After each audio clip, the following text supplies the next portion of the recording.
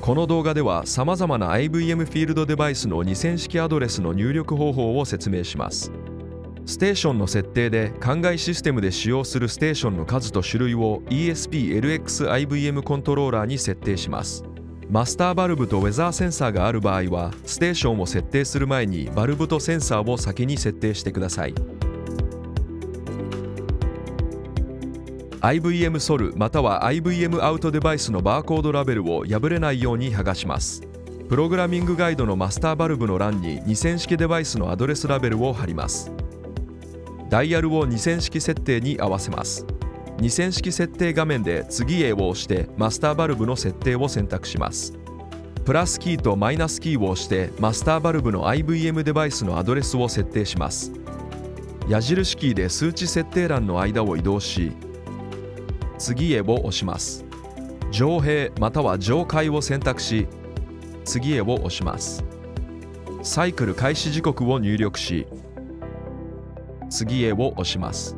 マスターバルブのフローゾーンへの割り当てを行い次へを押します。フローゾーンの設定を確認し次へを押します。追加のフローゾーン設定を確認し完了を押します。プログラミングガイドの該当する欄に2000式デバイスのバーコードラベルを貼ります。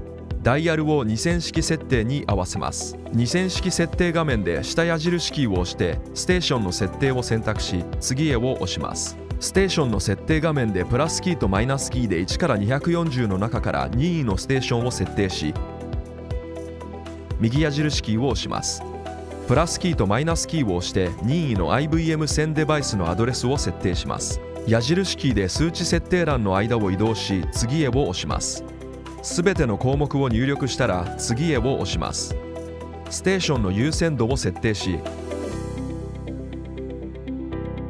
完了を押します。コントローラーはステーションのプログラム設定に関係なく最初に優先度の高いステーションをすべて起動し次に中程度のすべてのステーション最後に優先度の低いステーションをすべて起動します。フローゾーンを設定し完了を押します。ウェザーセンサーを設定し完了を押します。戻るボタンを押しダイヤル自動に戻します。プログラミングガイドの流量センサーの欄に IVM1000 から剥がした2000式デバイスのアドレスラベルを貼ります。ダイヤルを2000式設定に合わせます。2000式設定画面で下矢印キーを押して流量センサーの設定を選択し次へを押します。プラスキーとマイナスキーを押して任意の IVM1000 デバイスのアドレスを設定します。矢印キーを押して数値設定フィールドを移動します。次へを押します。流量センサーの種類を選択し次へを押します。流量センサーの設定を確認し完了を押します。詳細は弊社のホームページをご覧ください。